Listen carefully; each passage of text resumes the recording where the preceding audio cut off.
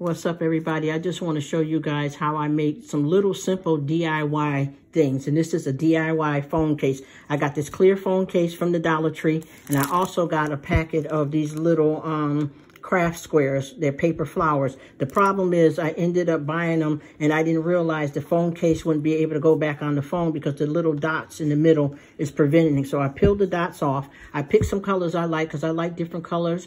So I picked some different colors and I'm going to just show you guys how simple and easy this is. And I, I, show a lot of stuff on a lower scale because I want people to be able to afford to have some cute stuff no matter what their budget is or what is in their wallet. You know what I mean? So here we go. So this is what I'm doing. These are some colors I like, but I, I like a lot of different colors. So what I do, take them like that, and you can do them any kind of way you want.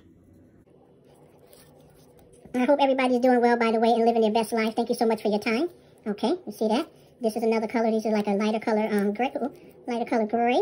See? This is just to show you, and then I'm going to show you the complete thing when I'm done let me just keep doing. I'm having fun, you guys. And I promise you, I used to do, because, you know, I'm that type of person. I like to get down and do things, but I've been having a lot of dexterity issues and, you know, medical stuff going on. So I can't do the big projects like I like to, because I do the big time where you get a dresser and sand it down and paint it and do all that kind of stuff. So this is my little fun that I can still have. And I have to watch it. That's why I wear gloves for dexterity and other issues. But I'm doing something right, and this is fun. All right, guys. This is my complete DIY phone case. I hope you guys like it. Thanks for checking me out. I'll see you on the next one. Bye for now.